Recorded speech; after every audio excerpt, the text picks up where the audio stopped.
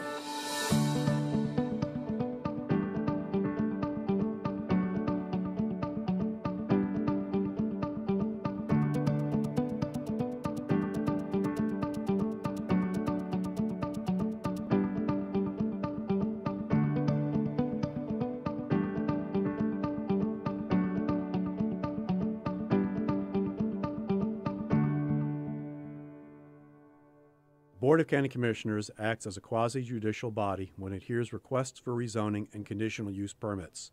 Applicants must provide competent, substantial evidence establishing facts or expert witness opinion testimony showing that the request meets the zoning code and comprehensive plan criteria.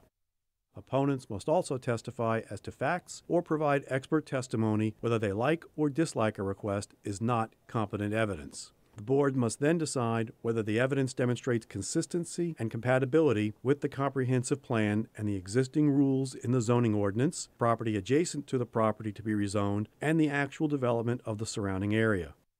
The board cannot consider speculation, non expert opinion testimony, or poll the audience by asking those in favor or opposed to stand up or raise their hands.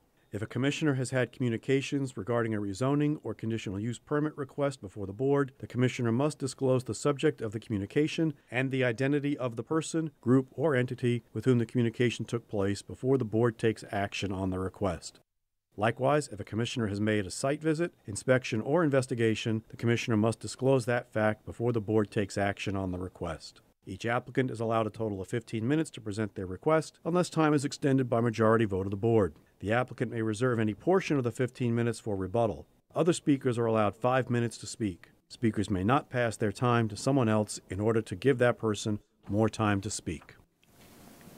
Good evening and welcome to the zoning meeting, April the 6th, Thursday. And do I have Pastor Elder Osborne here? Okay, we're going to go ahead and call this meeting to order. I have a quorum. Commissioner Goodson, sir, you lead us in the pledge. Will you please stand for the pledge? I pledge allegiance to the flag of the United States of America and to the republic for which it stands, one nation, under God, indivisible, with liberty and justice for all. Right, we do not have minutes for approval. Consent agenda, we have two items. May I have a motion to approve the consent? Motion by Commissioner Tobias. I'll second. Second by Commissioner Feltner. All in favor, say aye. Aye. Opposed, passes 4-0. Sir, do you have any um, public comment cards you're bringing back? Okay.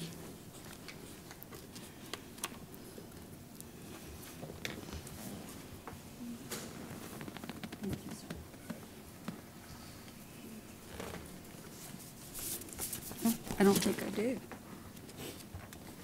Great. I actually don't have public comment cards, I don't believe, so we're going to close out the public comment session and move into the hearings. Item H1. Thank you, Madam Chair. H1 is Bobby Jo Thomas requests a change of zoning classification from GU to RRMH-1. Application number is 23Z00002, tax account number 3029907, located in District 1. Okay, I have one card, I believe, from the applicant, and I'm, um, ma'am, if, if you'd like to come up, but I, I'm going to ask the commission to approve it because I don't have any issue with this, it's in my district. Commission? Sorry. Have a motion by Commissioner Tobias. I'll second. Second by Commissioner Feltner. All in favor, say aye. Aye. Opposed, passes 4-0. Thank you. Item H2.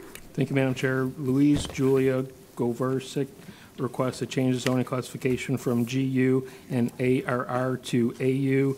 Application number is 23Z0005, tax account number 2406379, located in District 1. Commissioners, I have no card on this, but again, it's in my district and this fits. Can I have a motion? Motion by Commissioner Tobias. Second. Second by Commissioner Goodson. All in favor, say aye. Aye. Opposed, passes 4-0. Item H3. IR Tiki 2 LLC requests a small-scale comprehensive plan amendment, 22S.18, to change the future land use designation from NC to CC. Application number is 22SS00015, tax account number 2611662, located in District 4. Thank you. This is Commissioner Feltner's district. Commissioner Feltner, I have one card, and it's from the engineer of record. Sir, would you like to hear from yes. him? Mm -hmm. Okay, Mr. Steve Monrick.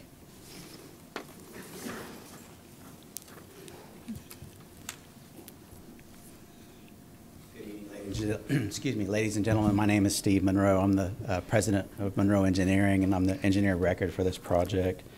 Um, This project is located at 4263 Highway 1 in Melbourne. It's also known as the old Captain Katanna's project. Uh, The restaurant's been there for about 45 years now. The new owners purchased the property in 2020, um, and it's now the new home of the Marker 99 restaurant. Um, And since that time, the owners have maintained um, their occupational license even through the COVID time. They've done some improvements since they've been there. The, the first thing they did was take the existing septic system uh, offline, and they installed a new lift station and force main. Um, This project being abutting the Indian River, this was a win for the river, um, and good, good move for the, the Indian River. The second item they're looking at doing is taking the existing uh, dirt parking lot, gravel parking lot, turn it into a pervious paver, paver parking lot, which will capture 100% of the stormwater runoff. So that'll be another win for the river. So instead of direct draining to the river right now, uh, as it is now, it'll, it'll be captured in 100%. During the site plan review, it was discovered that the, uh, this project needed a future land use change, that the restaurant was actually a non-conforming, so that's why we're here this evening. Be happy to answer any questions anyone might have. Thank you, sir. I'm going to hold your time. Commissioner Feltner? I don't have any questions. I'll make a motion to approve. Okay, we have a motion from Commissioner Feltner. Do I have a second? Second by Commissioner Tobias. All in favor, say aye. Aye. Opposed, passes 4-0. Thank you, sir.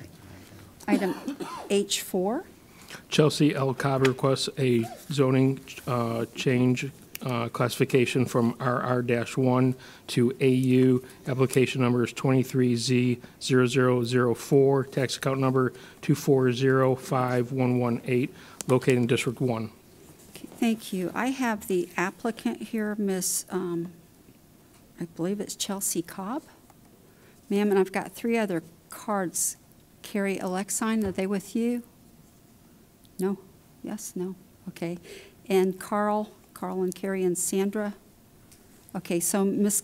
Um, Cobb, if you want to come up first and, and speak, and then um, we'll let other people come up, and then you can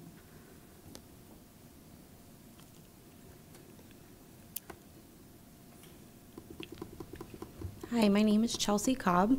Um, we were trying to change our RR1 to AU um, in regards to we have a bull and we would like to keep the livestock in code. And we also have a barn off of in our backyard and we're trying to fix our code violation with that as well.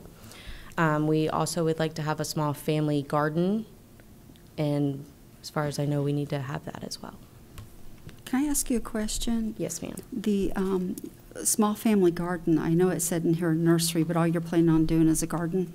We have some palm trees that we plan on having Okay, And as of right now, that the palm trees we have, we're going to be planting corn, things like that. So it's going to be a little bit bigger than a small tub-sized garden. is it for your family? Yes, ma'am. Just for your family, but it's not for business? No, ma'am. Just, okay, thank you, hmm thank you. Um, If they just did that nursery part as their family, AUL would work for that, correct? And they could still do what they wanted? Yes, ma'am. The, the, I'm sorry, yes, ma'am. The AUL would work for um, personal agricultural type uses is when it get into the commercial activity or if they're selling those, you know, the plants to individuals off of that site, then we would have, it would be uh, not allowed under the zoning classification. Okay, let me let them come up, and you've still got some time left if you want to um, respond to the other people's um, questions in a moment. So don't leave too far. Miss Carrie Alexine? And then Mr. Carl Alexine, you'll be next, sir, and then Sandra, I think that says Jake, I'm not sure. Come on up, Yeah, if y'all be ready. Hi, my name is Kari Exline. I live at 4375 James Road, so it's just two houses in between us. Um, uh, First of all, uh, um, uh, they're only on three acres, and your thing said, uh, the the code said, uh, I mean, the the zoning approved an AUL, not an AU. So I just wanted to make sure you've got that correction, that that's, first of all, what they wanted to do. The second thing is, the barn in question has been erupted, uh, it's been built, and um, it's in violation for over a year. In talking with um, the code people, the the the zoning people, they said, not the zoning, the code people, my my husband knows the individuals, but anyway, um, they, um, the, um, uh, they're in violation, they've been in violation, they have been telling them they're in violation, and they have been ignoring them. From what I understand, the county is getting ready to take them to court. The other thing is, what they have underneath that pole barn is an awful lot of industrial equipment. At the zoning meeting, they were asked, the, the individuals were asked, do you have a business there? They said no, that is a lie. I have the information here uh, that says that Lightholder Land Solutions LLC, that the principal address is 4475 James Road. So they are conducting a business on that three acre land. So that is a lie. This needs to be resolved. So my in my opinion, you really need to table this. You need county people to go out there and find out what's really going on. Because we've also noticed some tanks, and we're not sure what is in those tanks. That there could be some um, um, uh, uh diesel fuel, um, maybe, I don't know what kind of fuel, but they are huge tanks that are in there. The other thing is, they have been tearing down all the trees back there, also in violation of what the county. So again, my, what I prefer that you all do is table this, get some county people out there because they won't let anybody go on their land to find out what's going on. And I tell you, they are really conducting a business out there. And I think it's an illegal business for that area. Thank you very much. Thank you. Mr. Carl Alexine? Excellent. Say it again. Excellent. Exline. Wait till there are three syllables. Thank you, sir. If you'd state your name and address. Carl Exline, 4375 James Road, Cocoa, Florida. Um, I'm a couple houses away. The, uh, sounds like she covered everything. My biggest thing was is the AU versus the AUL, right? I want to make sure that if they're going to do it, that they do it with non-commercial intent. So that that's the whole reason. That's my main concern. So if uh, if they can if they want to grow a garden, I don't think you need a permit for that, no matter how big it is. But if you start selling it to other people or you sell services, then that's commercial, right? A nursery, for example, like you were stating.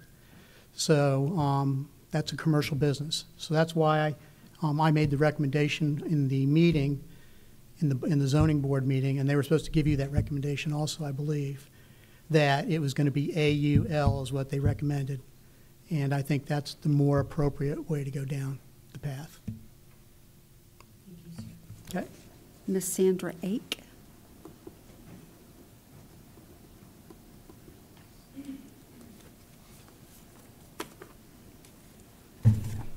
Good evening. My name is Sandra Ake, and I live at 4525 James Road. These people are my neighbor. I live right next door to them. And they, I do have photos. I just don't have them. I have them on my phone. I didn't get a chance to print them out, unfortunately. Between my work and I'm having problems with my horse, I haven't been able to do that. But I can, I do not want a business living next to me. And that is almost what they're doing. He's had his uh, employees there. And, oh God, I'm just tired, I'm sorry. Um, there's mounds of dirt. It's not to add more dirt to bring his land up. That's not what that's for. There's different types of dirt. And you don't need that if you're going to raise your land up. The other thing is, is that he raises it up. He, they're already 10 inches above my property right now in the front, and he's wanting to do it in the back. Right now, I get flooded tremendously because the person, the people who owned the property before and built the house, hauled in. I can't tell you how many dump truck loads of fill dirt And when they got done leveling it all out, and we went over and we measured it, it was 10 inches above us. They left no swell and no ditch to drain. After that, and that's why I believe that my friend sold her property to my husband. And at the time, I wasn't married to him. I am now.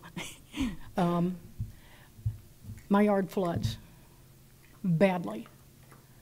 And if he raises the back up, back there, I will, I will flood even worse. I have a horse out there, I got my dogs out there. I have a pond. Now, I also have a ditch run along my property. My pond also has about a four-inch PV, PVC pipe going from the pond to the storm water drain. From the storm water drain, that goes into the ditch. Never had it flood until those people built up. When they built up, all of a sudden, storms come in, flood. I will flood all the way out to the road. And I'm about an, I'm a, about almost uh, half an acre in. So my back, from the back, back of my house all the way out to my back pasture, which is about almost two and a half acres, because I have three, floods. Our drive, I would have to put rubber boots on to walk out to the gate. My grandson, when he drives, tries to drive his car out, a lot of times he can't because it floods over the top. So now the pond and the road is all underwater. So I can't take them, I can't take people building up anymore. I can't. And I also don't want, the and the noise from his commercial vehicles, and they are commercial, dump trucks, front-end loaders, forklift, you name it, he's got it over there. And he has also added lights to his pole barn that are very bright. It lights up the whole area. But I would, I would prefer that he stays at our R1 just like we are. But if you allow anything AUL, because that is what they agreed upon at the first meeting. And that's what I got to say. I Miss mean, if you want to see pictures, I do have on my Are you phone. on the property to the east side or the west side? Mm, I'm on the west side. The west side of them? Are- Did you come up a while ago and we re- redid your property? Was that you, that we changed from RR1 to AU a little while ago with the, with the horse barn in the back? Oh, no, ma'am, I'm not, I'm not AU. I'm RR1. Okay, so you're not at the south of the property, 'cause a little while ago, No. one of your neighbors came out, and we, we turned it into AU, and we went all the way down to a horse barn on the bottom, you mentioned horses, so I thought that might be you. Oh, no, I only have one horse. Okay, okay. The I people to the south of you, I they have a little horse barn. Behind me, right Right. behind my property, there's a horse barn. Okay, I was just wondering if that was you. No, Okay. no. I'm right on 524, so, like he is. Oops, Thank you so much. I must be done. Yes, ma'am, thank you. Uh, Ms. Chelsey, did you want to come up and make some comments? Um, as she was saying, yes, she does flood, but um, she actually flooded during the hurricane that poured tons and tons of rain where everybody flooded. And yes, she does have a pond which filled up and flooded her driveway. And like she said, we haven't touched the front of our property, so her flooding is already there before we bought the house. Um, as far as I know, that you can park machinery in your yard. It is in the backyard, so it's not even in the front. It's parked under our barn that we built to park our machinery under. Yes, we do have an employee that comes and gets our dump truck. I don't know if that's I- not allowed. I probably don't have a lot of concerns with that. Let me ask you this question, though. Is um, the code enforcement case, do you have that in the process of getting cleared up? As far, yes, ma'am, this was to clear it up. I That's talked to because the of code the- enforcement, and Okay. they said to hold off on anything with that until this was finalized, because I was going to pay off, or pay for the permit to clear the barn. I have the engineering and everything. So yes, we, So that's we're part not of the ignoring it. problem with this right now, too? Yes, ma'am. Okay. Are you comfortable with an AUL on here? Yes, ma'am. Okay, so I- I- if you don't mind, I'm going to go ahead and have someone make a motion to approve that, and you can still what you, you do, and then everybody else has a little more comfort. Okay, Okay, thank you. thank you. Commission, can I have a motion? I'll make a motion, uh, Madam Chair, to uh, approve AUL. Thank you, sir. Commissioner Goodson, I'm sorry, you put your light on. That's all right, uh, Madam Chair. Uh, This would be a staff question. Are, yeah, RU1 lots, which are usually a lake, an acre or larger, do, are there a requirement that they have swales to drain their water to the ditches or to a pond? Or are they allowed just to fill four foot higher than their neighbors and flood their neighbors? No, sir. So when we look at a residential permit, we, we do a review of where they're gonna, how they're gonna grade the lot to get the, um, stormwater to either the right-of-way or, uh, a stormwater system that is able to accept that, that stormwater. Okay, Madam Chair, another question, please. If that be true, then, and a resident, you know, gets their home built, grades their swales, and then 10 years later fills up all the property, do we uh, go out to check if they've maintained their swales? It's on the, uh, property owner to ensure that they maintain the drainage and provide for that historic drainage flow. And then they just only recourse they have is code code enforcement, correct? They can look at code enforcement, um, if we would be able to help them, and we would, but I don't know that we have many of those type cases. Huh. Another question? If you know anything about Florida and you have any water in a swell, and you have a homeowner that has the money to buy dirt, they're gonna fill about everything they can. They're gonna fill everything they can. Now, my other question, Madam Chair, to staff would be, if you approve this AU and agri- agricultural AU uh, zoning, how many homes could, or how many dwellings could they put on their land that, that read minimum lot width, depth 150, minimum living area 750? Just one. They would only be able to fit one home on this unless they had like a, um, an accessory structure that would provide for like an, uh, an, a I'm gonna say like a, um, like a mother-in-law or something like that. I'm sure, last one, I promise you. So therefore, it would be really better if it was AU rather than AUL. That would eliminate, that would be more uh, in tune with everything out there that's one acre or larger, correct? Uh, The, the difference between it is really that the AU has a commercial aspect to it and the AUL is more of a, you know, is more for individuals that are going to have farm animals just for their own personal use and not a commercial aspect of it. Thank you, ma'am. But, but I would say, Commissioners, there's been conversations this, today about the home business aspect of this. And so, um, there's a preemption in Florida statute that preempts us from doing, um, for regulating home occupations. So that would be looked at by the state. It wouldn't be a county function to, to enforce that. Okay, I have a motion on the table for AUL. Do I have a second? Second. Second by Commissioner Tobias. All in favor, say aye. Aye. Opposed? No. No. Passes three to one. Moving into item H5. Thank you, sir.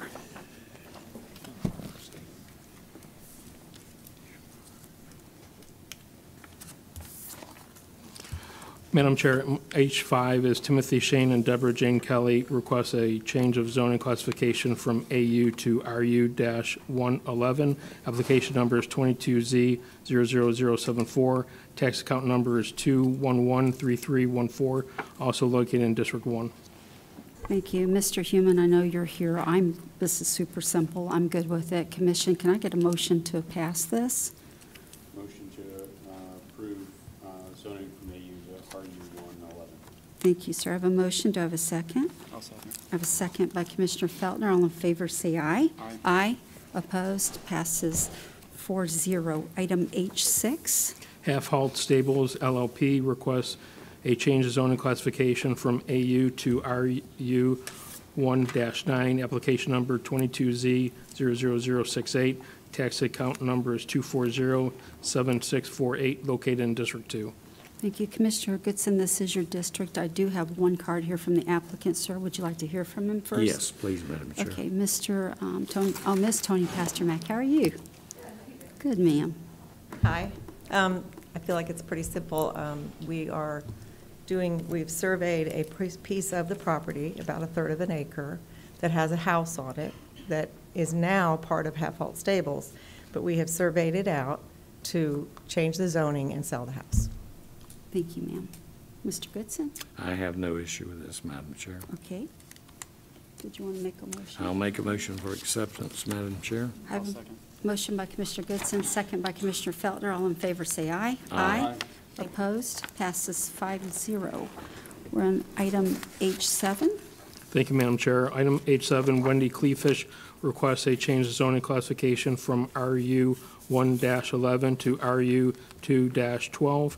Application number is 22Z 00067. Tax account number is 2731680, located in District 5. Thank you. I have the applicant, Miss Wendy Kletich. I'm sorry, I'm gonna have our time. times. You want to come forward? I do have some cards on this, so do you want to come forward first?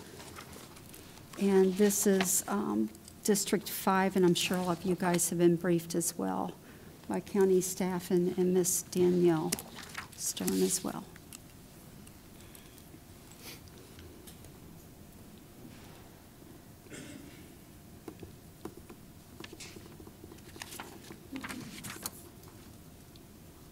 Good evening. Thank you so much for having me here today and for being here. My name is Wendy Kleefisch, and I own 107 Franklin Avenue.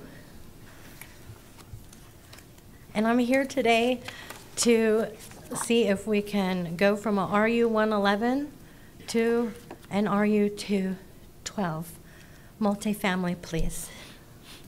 Thank you. You look really familiar. Have you done this recently? I've, I have been up here recently, um, and I have been inspired. Um, I am doing this because, as um, a quote from you, um, in America, you can decide to do whatever you want with your property as long as there is approval. Okay. Oh, Commissioner Tobias, you have your light on, sir. Thank you. Sure. And Thank I will you. hold your time, ma'am, so later you can come back too. But go ahead, and Commissioner Tobias, I'm sorry, I was just letting her know. Thanks, Wendy. Uh, You were here six months ago. Yes, sir. Yeah, and you said, maybe, these are your words, not mine.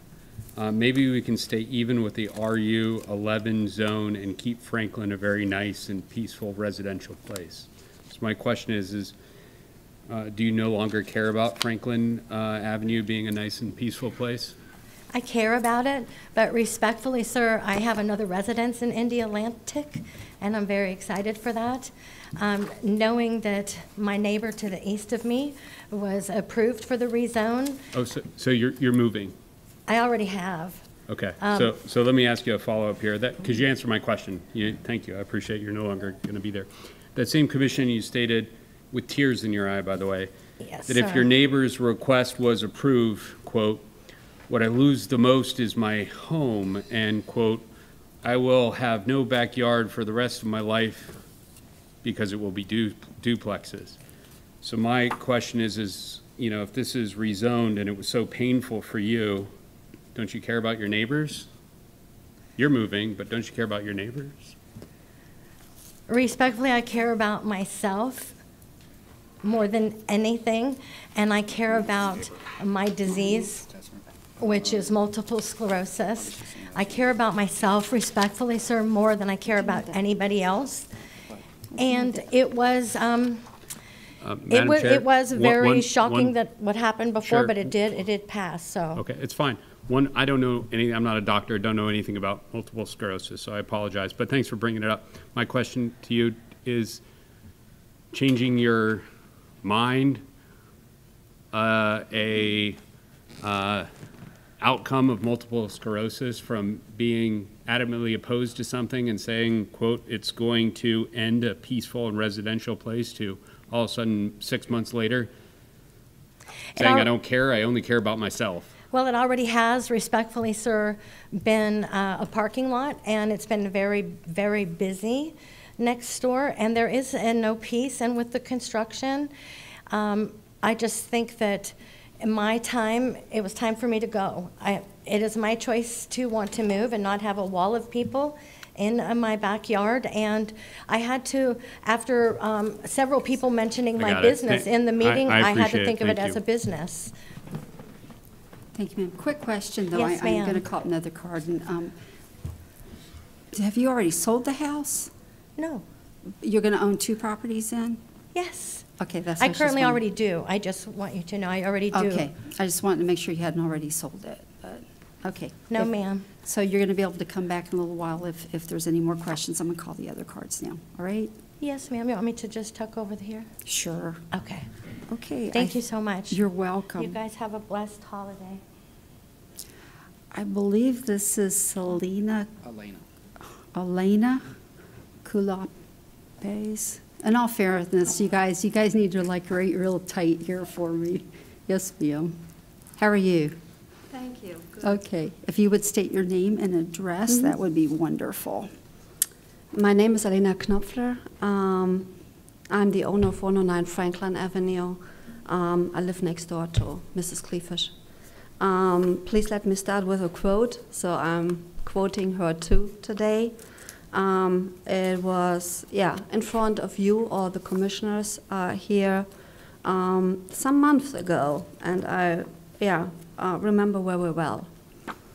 Quote, to go from a one story to an aggressive, I feel aggressive, RU 212 resort dwelling unit is a lot. I do realize that real estate is on fire. I am just respectfully asking that maybe we can stay within the RU 111 zone because what I lose most is my home. Please keep Franklin a nice, peaceful residential place. One day, it was not even 24 hours later, she filed the application to rezone her single family home to set aggressive RU 212 resort dwelling and said during the PNZ meeting recently, quote, everything around us is all commercial. Across the street is commercial. Behind me, everywhere, I'm surrounded by commercial. And if I approve, uh, and if approved, I have great plans for you. So, well, the character of the applicant is one thing, but I look at the true character of the neighborhood, and I would like to show you what I'm, where where we live, and what's the truth.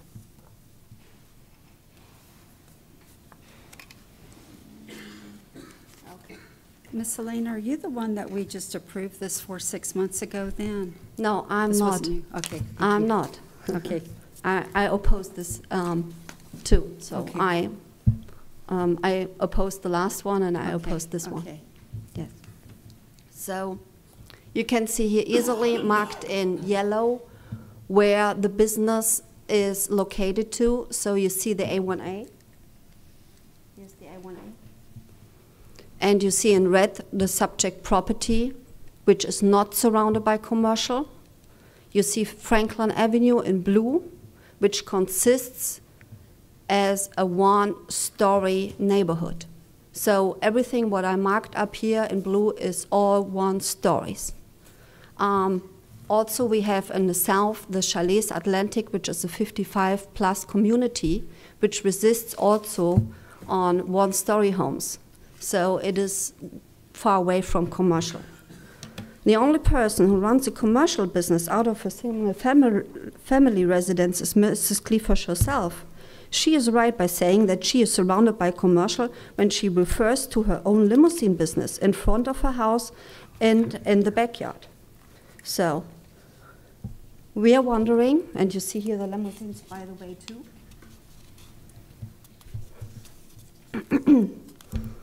so, we are wondering if her great plans are continuing to operate the limousine business from a multifamily business. She did not move away.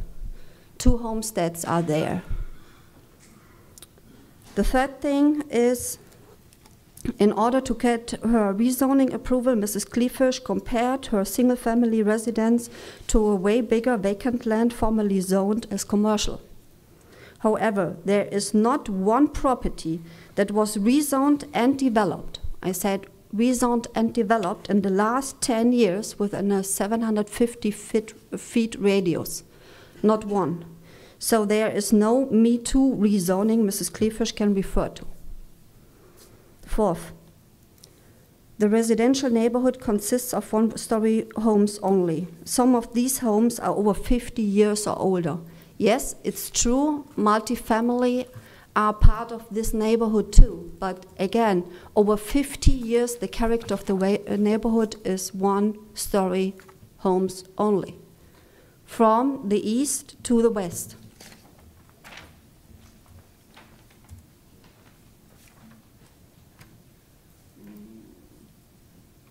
Ma'am, you only have 20 seconds left. Yes. I'm good, thank you. So you see from west to east or west, uh, east to west, it consists, uh, consists on all single-family one stories. I would fully support Mrs. Kleefisch to develop a duplex with one driveway to Franklin and one to Gross Point, but limited to one story. Thank you, ma'am. Thank you. Thank you. Ms. Sandra Sullivan?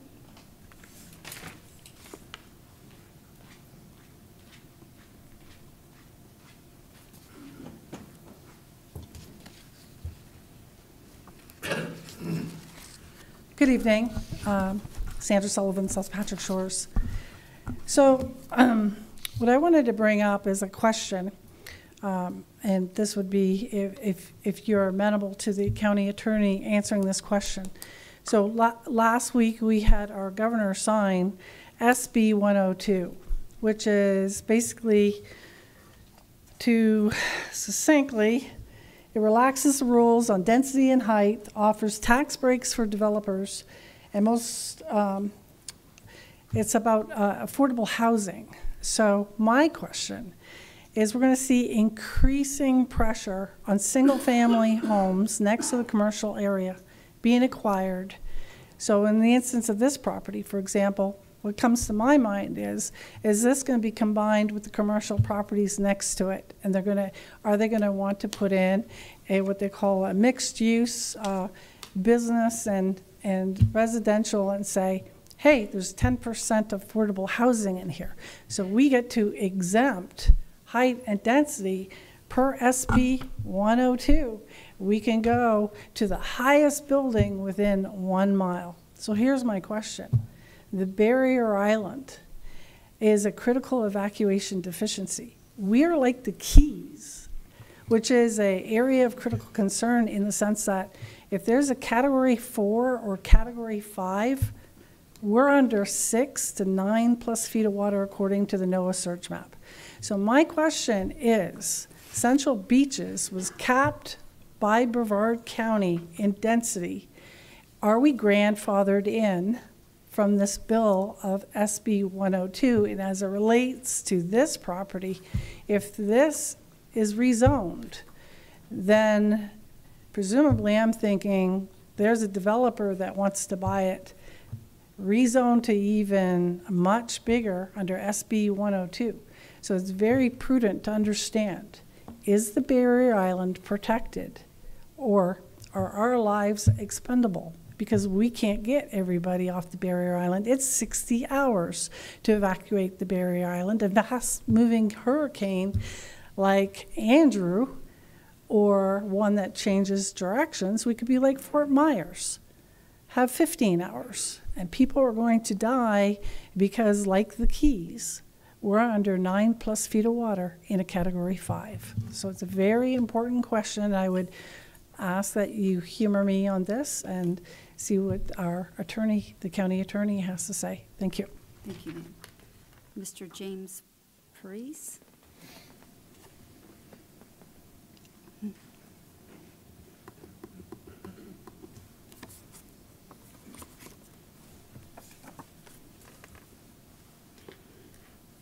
Your name and address, sir? Hi, I'm Eric Priest. I own 117 Franklin. And um, I, I think you all saw the information that I provided Jennifer Jones about the, my comments, I assume. But just for the record, I'll read what I put since I have five minutes. I'm the owner of 117 Franklin Avenue.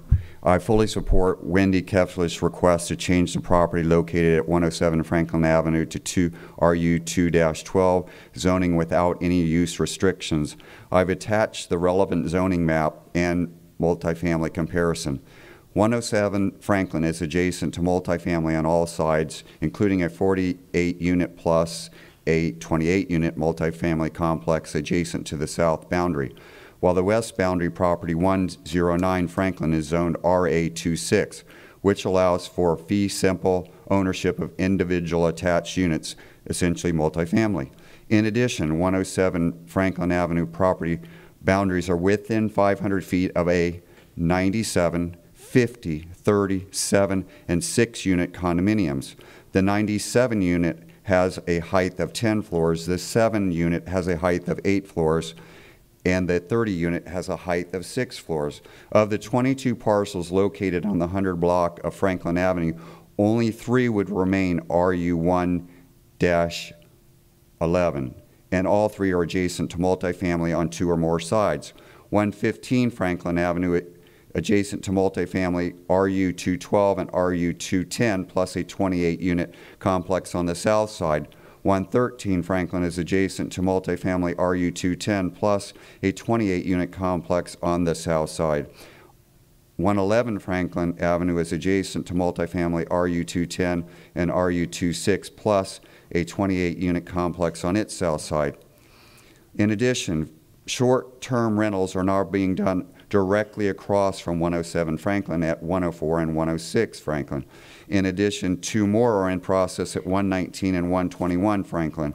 Therefore, it would not be reasonable to restrict 107 Franklin from this use allowed in RU 210 and RU 212 zoning.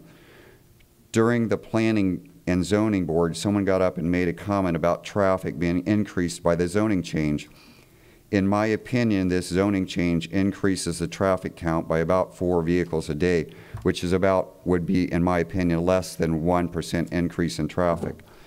And um, the person that got up before and used the, this diagram? Um, this is actually stuff that I did, and they removed a lot of the different multi-units off the thing to, to modify that all over the place. There's multifamily, like everywhere. It- You can see it, I'm sure, in the comments. But anyhow, just for example, here, just down here, there's eight, eight units of sixplex, and all the, the, uh, right across the street directly on Neiman, there's a sevenplex. So the, the, these comments about there being single-family everywhere that are 50 years old, see, this is what the issue is, is that any house that's 50 years old is hard to get insurance, so you know they're being demoed, and they're already being demoed and re- replaced on Neiman. And so it's, it's going to happen. And there, the, there is no difference in the height between RU 111 and RU 212. That's just what the county zoning is. So I don't agree with the comments of the previous person about the heights. Any questions? Thank you. Thank you, sir. Commissioner Goodson, you have your light on, sir. I'm sorry. You didn't mean to have it on. All right, Commissioner Feltner. Uh, It's actually for the owner. Okay, Miss Wendy, would you come up again, please?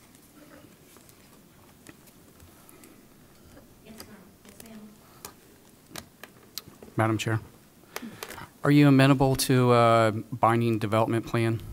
Um, I think you had a conversation possibly with staff earlier for the property, I don't- limiting to one story. Right. Um, I have no intentions. Um, I think the confusion, honestly, if I'm being honest, is this went to hundred people in their mailbox, and it has the assumption, and that's We- why people we are didn't visiting. see it. I- I don't, I don't think we saw it. You guys didn't see that, right? Well, it shows like, people are coming up to my house that I've never even met, even over in Melbourne, and asking me why I'm building a resort. Ma'am, it it won't affect our opinion because we don't know about it, if that Okay, helps. well, I thought that might, because a lot of people seem to think all of a sudden I'm going like uh, six foot high, and I don't intend on doing anything but the multifamily duplex.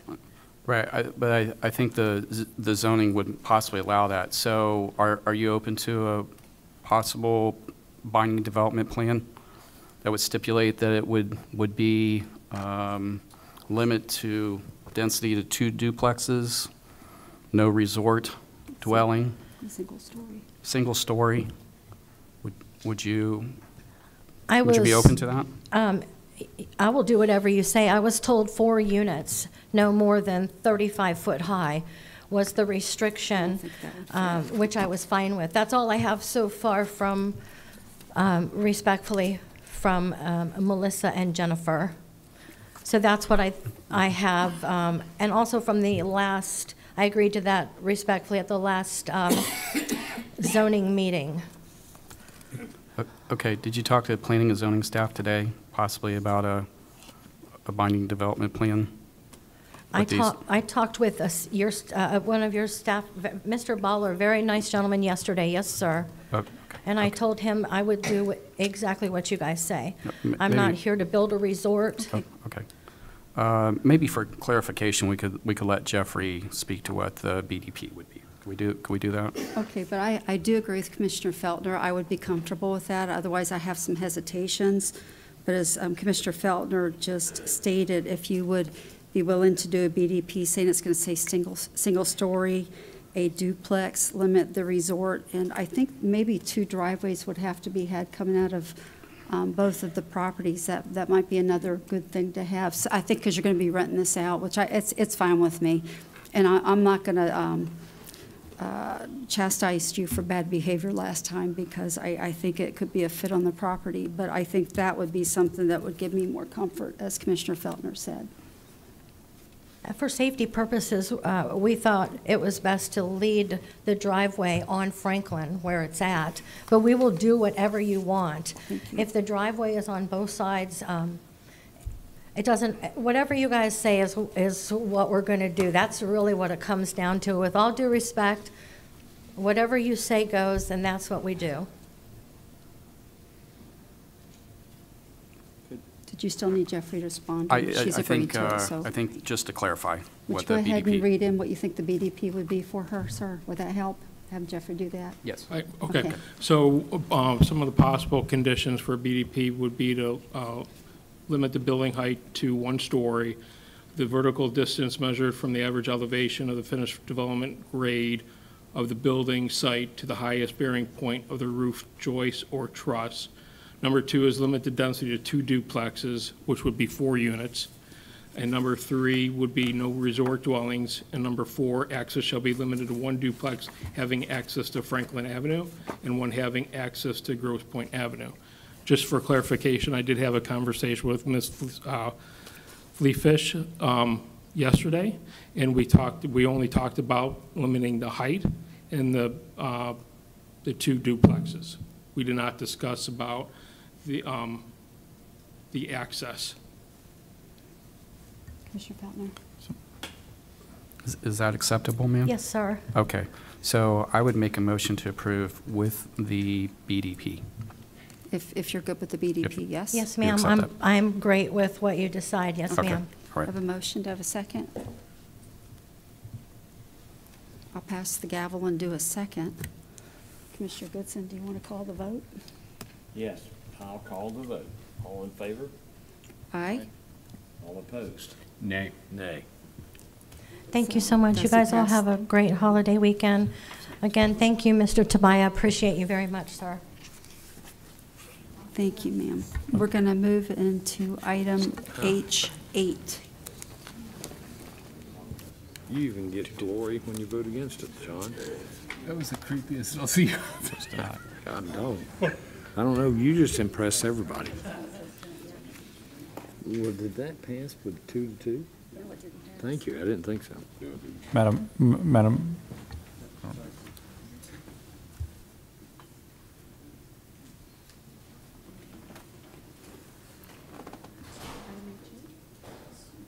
Did I do something wrong? I don't think so. I think we're on the next item. Did I do not wrong number? Item H8? Yes. We're on eight, H eight, right? Yeah, you guys are looking at me like I did something like I did the other night. No. I, I think, just for clarification, I believe the applicant believed her item passed, but it failed by a two-two I don't think she so- thought that. I had a feeling. You think she did? Yes. She Oh. congratulated Commissioner Talat. Miss Adrian, do you oh. want to find her? Tickle me. Okay. Okay. Is she here? Ma'am, you know your item did not pass, correct? Okay, thank you. But she can come back. sometime Try in the something more future. creative. Yeah, you come back with a, a different proposal perhaps later. Okay, item H8, Thank you, Madam Chair. Item H8 is Morris M. Taylor Revocable Living Trust. Requests a change of zoning classification from SEU EA and BU1A to AU and BU1A. Application number is 23Z0001. Tax account number is 3008434, located in District 3. Commissioner Tobias, this is your district. I do have six cards, and two of them are the applicant, sir. Would you let me do the applicant and the cards first? Sure. Okay, thank you, sir. I have Morris Taylor, Mr. Morris Taylor, and Ms. Chelsea Anderson. You must be representing him? Yes, I'm the agent for the applicant, and he's here for um, questions. Okay. Uh, So I'll go ahead and, and start off. Um, Good evening, Chelsea Anderson, 1530 US Highway 1, Rockledge, Florida, 32955. I'm here on behalf of the applicant, Mr. Max Taylor.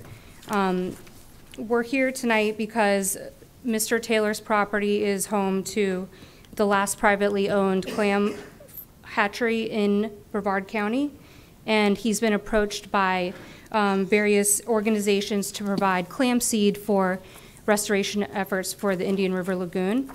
Um, Right now, the use, i- the property's been used for, uh, going on 30 years now for agricultural uses by Mr. Taylor and his family. Um, And this is, uh, they're established non-conforming uses at, at the present, um, so they can't be enlarged or expanded, um, which is why we're requesting this rezoning today. Um, Right now, the, they're at capacity with the buildings that they have. They're old and outdated, um, and they really need to modernize them in order to uh, be able to produce more clam seed um, and, and uh, in order to supply a significant amount towards the restor- restoration efforts. Um, Right now, pretty much all of the clam seed that they produce on site is already spoken for um, by the clam aquaculture industry, um, different farmers throughout the state. There's some letters of support in your packet from them on how they, they're relying on, on that product. So um, to produce more, they do need a rezoning. Um, I will briefly touch on a few of the things that were in the agenda report um, about the- compatibility with existing uses under Administrative Policy 3. Um, This proposed uh, rezoning, we're asking for the AU zoning district, uh, which is agricultural residential. It is consistent with the Res 1 um, future land use, uh, uh, future land use, um, which is currently on the property. Um, And then, of course, the the applicant would comply with um, the performance standards uh, that are in the Land Development Code uh, that are designed to uh, eliminate potential nuisances. Um, And they're also, this, this use is regulated by the Florida Department of Agriculture and Consumer Services, so they have to comply with best management practices um, as part of that licensure. And um, they, part of, in part, the reason for those best management practices is to eliminate um, and minimize external impacts um, of these uses. Um, So with that, uh, there are a few comprehensive plan policies that are in direct support of this application, um, or that this application rather would be in direct support of. Um, Coastal Management Element Policy 5.15 says that during rezonings, um, the county should give immediate shoreline use priority to water-dependent uses, um, such as uses for shellfish production, and that's the top priority for shoreline uses under that comp plan policy. Um, There's various uh, objectives in the coastal management element about improving the water quality in the lagoon. Um, And then recently, the Save Our Indian River Lagoon uh, project plan update that was just updated earlier this year. It has a whole section on clam restoration, um, how it is warranted as a mitigation tool uh, for removing excess nutrients in the lagoon.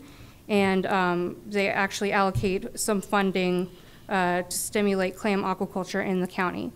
Um, Again, this is the only clam hatchery privately owned in the county, so um, that would be in direct furtherance of, this project would be in direct furtherance of, of uh, that project plan. Um, That's really all we have for our presentation. I'd like to reserve my time for any rebuttal um, if needed. And if you have questions, I'm here, the applicant is here, and we have Mr. Ewan Layton, who is the aquaculture technician for the, for the hatchery. So, Thank you, ma'am. Thank you. Please, sir. Um, For the rest of the speakers, I, I got some letters of support that were kind of interesting. One from, uh, and this is the South Beach, so this is not an area that generally people are all that amenable to changes. Uh, So the next door neighbor, I got a support letter. I got multiple support letters, and this stuff has all been disclosed from the University of Florida on this one, both the Whitney Laboratory and the Shellfish Aquaculture Program. So I didn't hear any negative on this one. So for the rest of the speakers, uh, you know, given the presentation, I'm strongly in favor of this unless I hear something demonstrably different at this point. Just a heads up. Thank you, Commissioner Tobias. And as, you know, we've always done here in the past, you live in the district, you, you, you're hands-on on the property, you live around the people. So always your opinion weighs very heavily when I go to vote as well. I have Mr. Jeff Hill. Mr. Jeff Hill, are you here? Would you like to come speak, sir? Your turn? Are you in support? Okay, do you want to just say you're in support then? Okay. Blair Wiggins? In support, okay. Ewan? Thank you. John Robson? Come on up, sir. He works for Mr. Taylor. Uh, I think this is um, a great situation where we're seeing a private owner of a property work to support what the government is trying to do uh, with regard to uh, cleaning up the lagoon. And we've seen so many things lately where people during the pandemic have cleared all their lots of everything that should be still there. Um, so when we have somebody who's been here over 50 years wanting to preserve the nature, literally the nature of the South Beaches, then I think not only should we give him this uh, uh, change, but also applaud him for doing that. And that's all I have to say. Thank you, sir. Yeah. Commissioner Tobias, the floor is yours, sir. Thanks, Madam Chair. Uh, Move to approve the change of zoning classification from SEUU and BU1A to AU and BU1A, Madam Chair.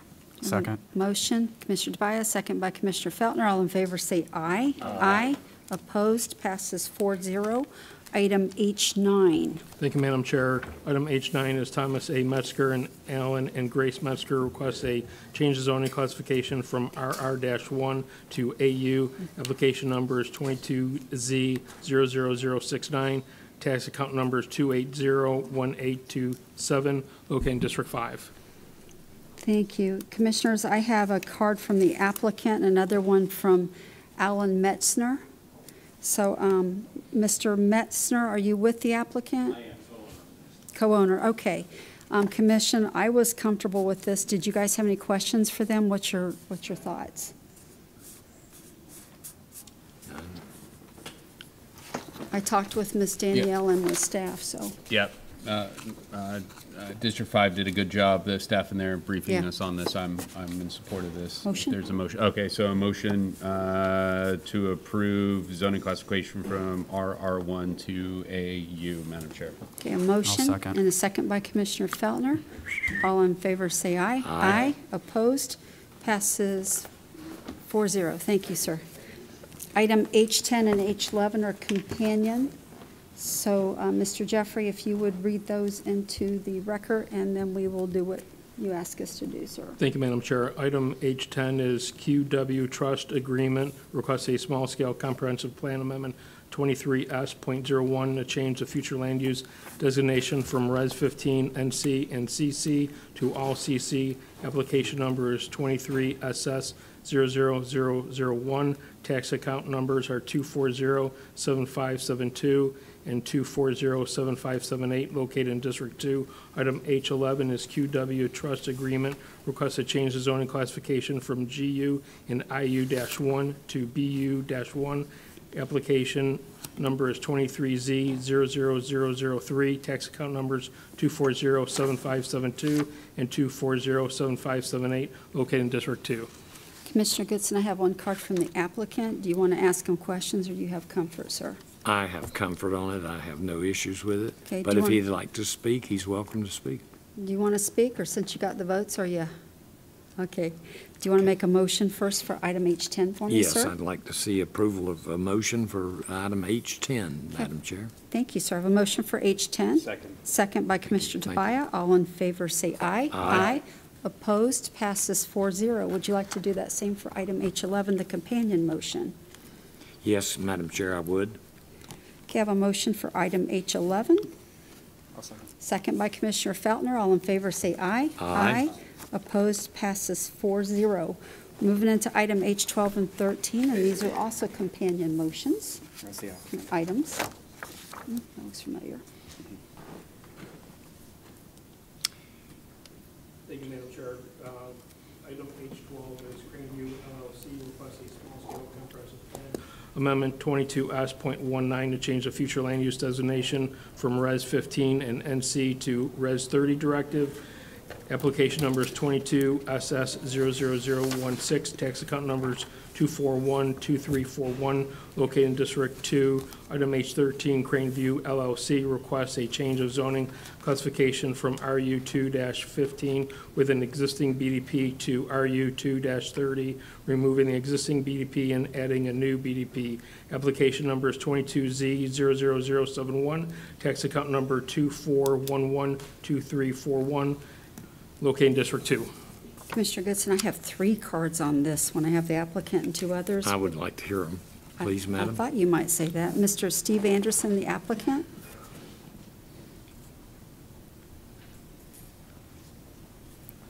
Had a good run going there. Good evening, everybody. Good evening, Commissioner uh, and people. I'm Steve Anderson, and I represent Mr. Metzer. Let's see here. Um, Yes. uh, um, Anyways, um, I think we all know that this site has probably, or if you have the packet on it, you know that it's been in this uh, state for almost 17, 18 years, and it's been a blight on the community. Uh, I've lived in Brevard County for 30 years and recently moved to Orlando, and I was very excited about the opportunity to work on this project with Summit to make it actually happen after so many people had actually tried. But the numbers and the uh, current uh, code violations, and just, it's just kind of one of those projects that is just not getting any traction. So, um, and again, with the rise in rates and everything, it, it, it takes, it takes more units to make a project happen than the original binding agreement of 48 up to the 90. If we went to the RU 230, we could go 120. So that's why we've asked just to back it down. As, as every hour clicks, things are, you know, not getting much better out there. So this is what it really takes to make it work.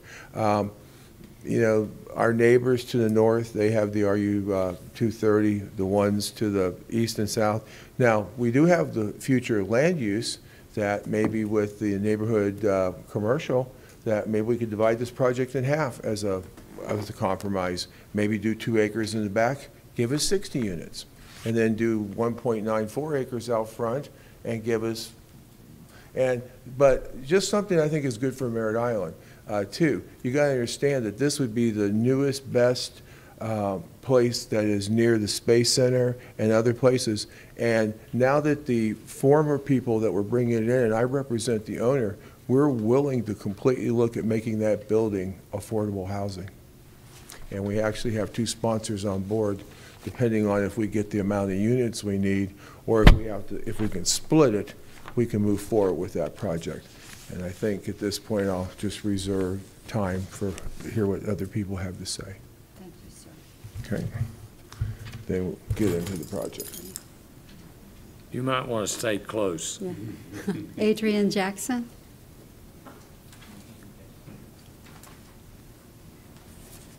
Is that Adrian or Andrew? Andrew or Adrian? Andrew. yes. Okay. In all fairness, it looks like an I. so- Oh, yeah, I wrote really fast, sorry about that. Anyways, my name is Andrew Jackson. I live at 2000 Hamlin Avenue in Carlton Groves. And um, this parcel is only uh, 3.95 acres, for which the um, petitioner is seeking to construct 90 dwelling units. Uh, When you subtract the square footage needed for acres, for access roads, the retention pond, parking lots, dumpsters, utilities, pads, and maintenance facility, there remains only a 1 acre footprint at most, um, upon which to place 90 dwelling units. The density will be a minimum of 50 units per acre, which will necessitate a high-rise building tower towering above the uh, neighboring single-family homes and existing uh, two-story apartments to the west and north of the subject parcel. Um, This type of extreme residential density is wholly uh, incompatible with existing improvements um, surrounding the parcel. This zoning of, uh, zoning of this magnitude is wholly out of place with the uh, character of this location in the heart of Merritt Island. Um, Yeah, I believe that if he were to do the separation thing that he talked about earlier, that it wouldn't be a high-rise and it wouldn't look down on the whole Carlton Groves area. My parents, uh, my wife's parents, my brother, my cousin, we all live in that neighborhood, and that's our concern, is that it's gonna be just a giant tower looking down on the whole neighborhood if he goes to the 30 instead of the uh, 15. Um, I like the idea of that structure finally getting torn down and completed. Right now, it's just an eyesore as it is. But we don't want a high-rise right next to all of our neighborhoods, or right next to all of our homes. Oh, I forgot to push your button. Are you done? You got about two minutes left, I think. Oh, this is my first time, sorry. Oh, you're, no, it's not your Um, fault, it's mine. It's not my first time either, so. Oh, and I, I had to go to the opposite side of the neighborhood to find this little petition that someone put out. Um, I, I feel like we should have received something in the mail. The only way I found out about this was because of the opposite side of the neighborhood where there's, um, obviously aren't going to be nearly as affected by this building. Um, that's all I have to say. Thank you, sir, appreciate it. Miss Diana Trimble?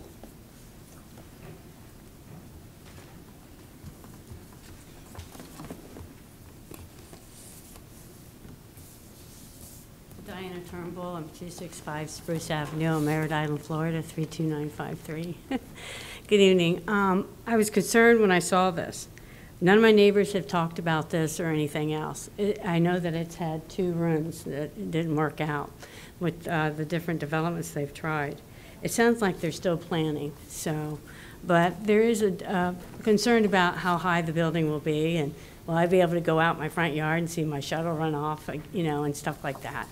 So it's basically about concern about the neighborhood and um, running off water from, because we get all the running off of water from North Courtenay down to our drains. So different things need to be factored. Um, And I'm learning and I'm listening. So, and the information that I asked for, I did not receive in my email from Jane. So um, you might know who that is. I don't know who it is. But um, I'm concerned about just little things. But I would like to see the eyesore gone too. And I agree with uh, Mr. Jackson about half of the property going to other. But have they ever figured, um, thought about just single-family homes? It's very valuable right now. So, just an opinion, I do. Thank you. Thank you, ma'am. Miss Sandra Sullivan?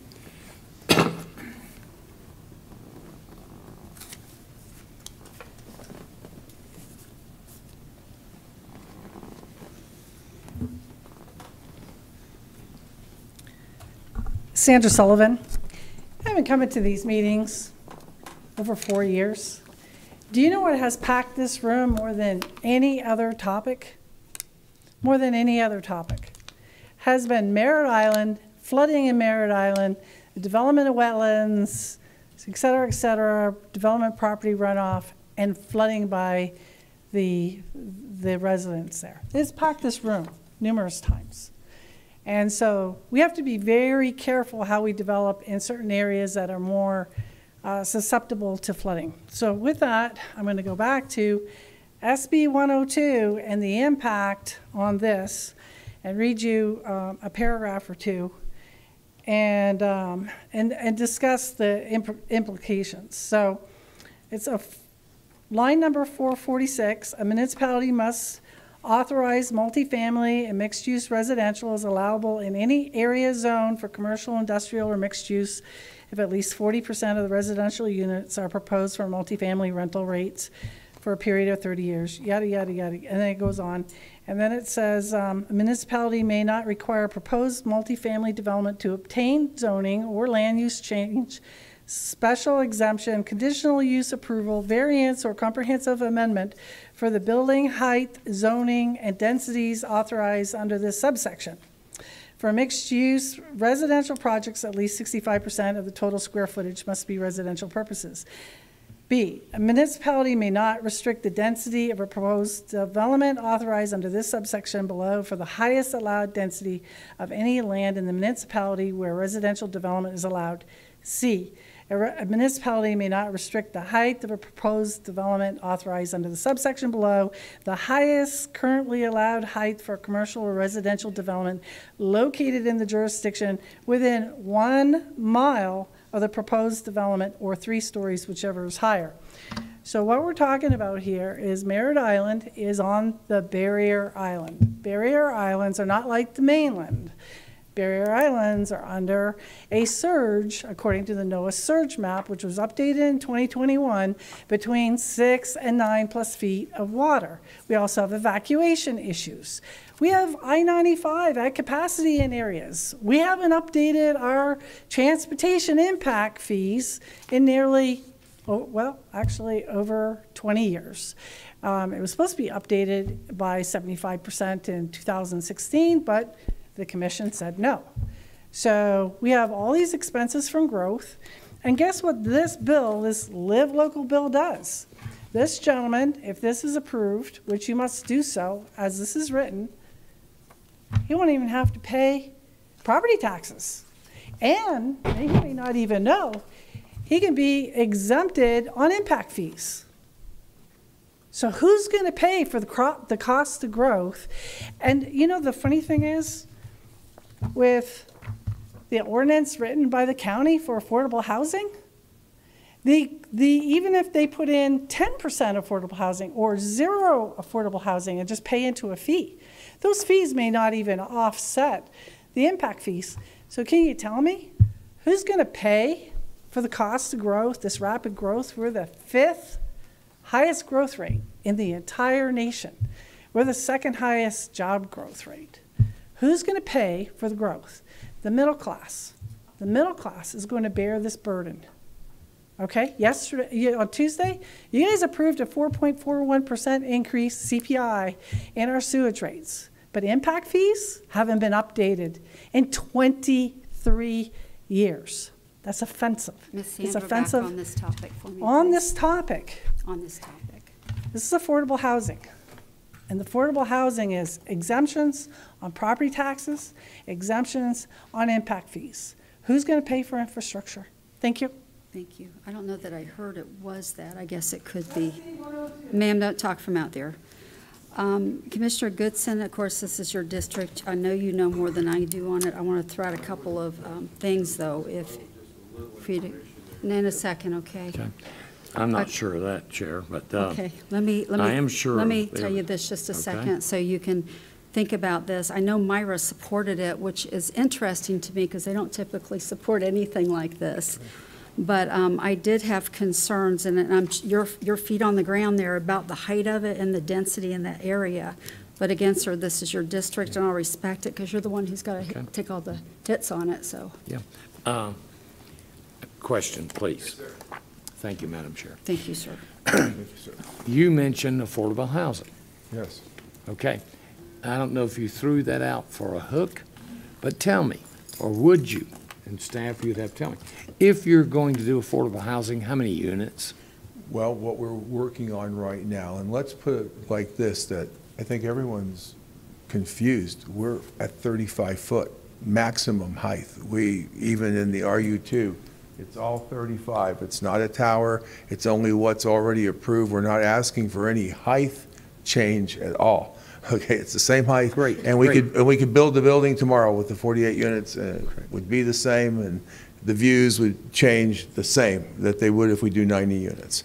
But how many units are going to be affordable? Well, that's where, uh, when the other partners pulled out, and now I represent the owner only, we have two ways to go. Uh, Blue Sky Communities and another diocese are looking at it, at 90 units that we would need to be able to put onto that unit, and they would go all affordable housing. All, both of them would do, both of them 90.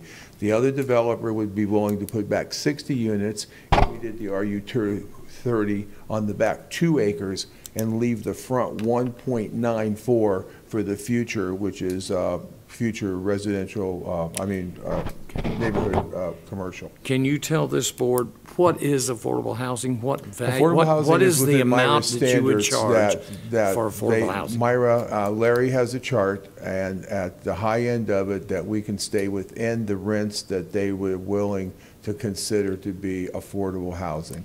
And they have it per each square foot, one bedroom, and I do not have that with us originally, because this is just something we'll put into a binding developmental agreement. How many units? Ninety. How many, how many will be affordable? He said all would be affordable. Did Yeah, you not They say would be that? all, it would be a whole, the whole project, yeah. Yeah, we would, Can staff, if this was approved, can we write that in there that when he, if he gets approval, gets financing, all ninety will be affordable housing? That would be BDP, Yeah. BDP. Yeah, that, this is the, what, what we've looked at is that no other project makes sense. And the people that I work for have a mission, and they do this across the state, and they often tie in with the local diocese, and there's a need.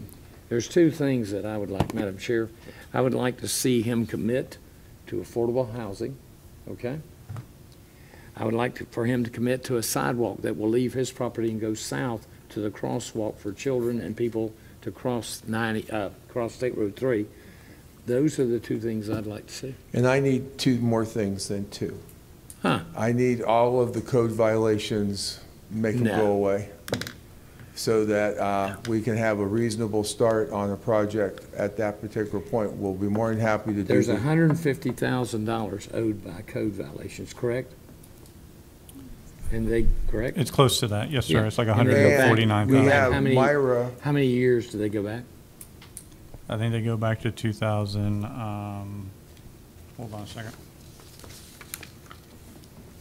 Yeah, I agree with you. I don't think I'd be comfortable with that tonight either. No, look at the two-part deal, so I didn't get the other I part don't think out. you have support on You're the that one part. that offered the one-part deal on all being affordable housing. Well, yeah, We but didn't. then you asked another For a question. sidewalk, that's minimal. Yeah, That's protecting the people that, you know, we represent. this represent. is And just, trying to get the kids just, to just- school, that's just talking here, because we need to get the building down But right away. $150,000, when did you buy the property?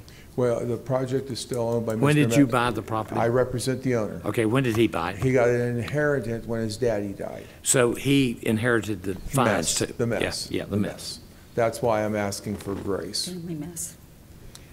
Uh, Madam Chair, I can't, I can agree on the two things I brought up, I can't agree on that. I agree with you If, completely, if sir. you're going to either agree that you, the owner still has the fines, Right. or either you're gonna end up with probably a no vote, and it'll go back to zoning again, so you can take it back up to them and talk to them. Okay, well. Because right uh, now, you have an eight to two at the zoning, Right, and you have four up here. right. Madam Chair, that's all I gotta say. Thank you, Commissioner Tobias. Sorry, I was unaware of, of the, can you help me? How, how long are you, a sidewalk are you proposing? Oh, it's only, uh, three, less than hundred and fifty feet, Oh, my maybe two hundred. It's just, uh, property's just north of uh, Carlton Groves, and you're just, in the, the crossover is not even at Carlton Groves, it's just before Carlton Groves. If everything moves, can I get the pr- fines reduced by the price of the sidewalk? No, um, good, because Commissioner Goodson, that's really good, because it was brought up at the P and Z about the school being across the street, and this is going to be young families, and we're going to have kids crossing that road in traffic. I think that's a really important thing to keep any children in the newspaper Right. down the road from something terrible, so good, good catch. Commissioner Tobias, is that you, sir? I just was curious why. It's still your. I have no motion to make until he agrees he's got the fines and he agrees to the two things. I just find it hard to believe that the developer's telling us numerous times they can't make it on low-income homes. They can only do the bottom floor, low income, and the top floor, floor, they sell for high rates. But he's gonna be able to make it selling all of them. This or- isn't, no. Renting them. These are rentals. This is a Rental, rental, makes right, money rental. on losing money. But yet doesn't come to the, you know, you would think if he's gonna promote, and I'm not trying to upset you, I'm just trying to reason with you. If you're coming to this board saying all of them are gonna be affordable homes, you would have bought the rates. Because what you might consider affordable would not be affordable to other people. So that's, right now, I don't have a motion, so it's up to you if you all like to deal. No, I, I jump agree in. with you. If it was in my district, I wouldn't approve the new zoning. I would have kept Jump it in, with the Two thirty. So, um, Mr. Goodson's being pretty generous right now with his stipulation, so I, I'm with him on this. He's in the area. And you kind of addressed all the things that, that gave me more concern too. So, sir, if, if you can get him to agree with you, I'm, I'm with you. Otherwise, I'm with you the other way too. Commissioner Tobias, sir? Thank you, Madam Chair. Uh, Just for the applicants, um, you know, side, uh, sidewalk, I don't think you should have to agree to pay this, you should pay the fines regardless. There shouldn't be a stipulation, pay the Mm-hmm. fines. Uh, What definition of affordable housing are you, because there's 12 or 13, I, I'm, I just, so Well, we it's can. rental, Well, remember. sorry, this is for, this is for the commissioner. Is there a certain definition of affordable housing so he knows, should he apply again, he can, he can meet that? I- I- Yes, Madam Chair. Yes, and that's a really good question, because I deal in that category myself, and there's a huge range on that. If you've, you know, we've sat here, I've been on the board a short time compared to Ju- you. ju- Just to be clear, I'm going to support you no matter what you say. I just want you to be clear thank to the ac- applicant, meet this definition of affordable home, come back and do a sidewalk and do, and then, then. I so he- personally think he needs to come back to us with what his rates are gonna be. Because I don't know, we hear numbers from here to there. And I don't know what's affordable. We can't even get a, one guy came to, before the board and said for, he could build affordable housing for four hundred thousand dollars. Remember him? The little uh, tiny homes? Four hundred thousand dollars is not affordable. Yeah, are, will we do this on what the state considers as affordable housing income as far as rent? Because I know like, um, First Housing has an actual, um, amounts you're allowed to charge for rent Mhm. compared to people's incomes.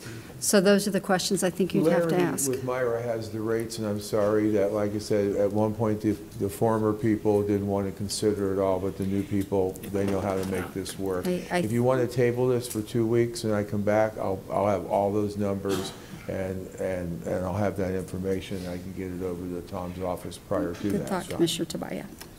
And, and, and Mr. Platt. That's, that's fine with me, Madam Chair. And Okay, we'll- so you we'll to come make a back motion to and- table? Yes, I'll make a motion, that we table it for with two that? weeks. Do we have to re-advertise? If, if we do it in two weeks, do we want to wait for four? Because you want to have four commissioners here. You might want to wait until the first meeting in, in May. Because you never know where Commissioner Feltner is right now. Yeah. Yeah, I, that'll be fine, that'll be We'll fine. go to the next zoning meeting, how's that? Maybe make a better presentation. We only had three days' notice on this after, the- after people backed out. Are we good with the next one to table to next zoning meeting? Next zoning meeting, Ted? That would be May 4th. Okay. And I will caution you, I don't know what time you get it in Orlando, but you better be at uh, Larry's office, because I'll be there for you.